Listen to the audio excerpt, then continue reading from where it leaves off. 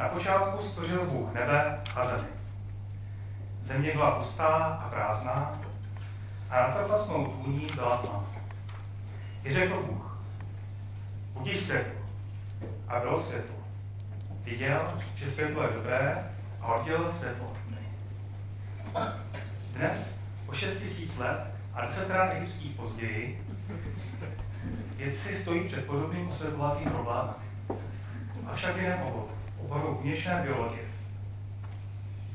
Představte si jeden lék, který by zvládl vyléčit tak rozdílné choroby, jako je cukrovka, leukémie, slbota nebo infarkt. Klíčem k němu jsou tzv. kmenové buňky. Tyto buňky zvládnou vyléčit všechny tyto choroby. Zvládají velmi speciální trik. Umí se totiž proměnit cokoliv si zamá. Jejich velkým problémem však je, že tato proměna je buď příliš dokonalá a my proto nejsme schopni rozlišit od všech buněk ostatních. Pokaždé, když se věci potkají s takovýmto zásadním problémem, podívají se do odborné literatury pro inspiraci.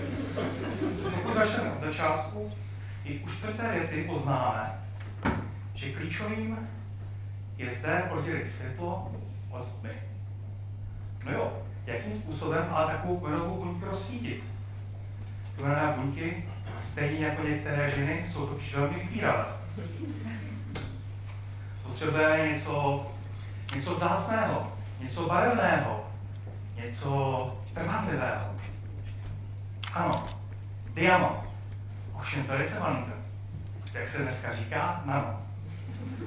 V naší laboratoři pomocí cyklotronu a následného chemického zpracování jsme připravili fluorescenční nanodiamanty, které, pokud se osvítí správným světlem, nádherně červeně fluoreskují.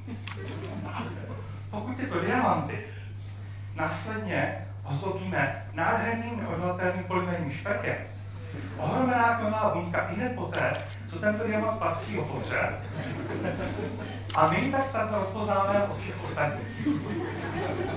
Pokud pak tyto kmenové buňky praví do lidského těla, oni putují tím tělem a vyhledají nemocné orgány, kde se osvítlí a spraví jejich funkci oproti původnímu stavu. Děkuji.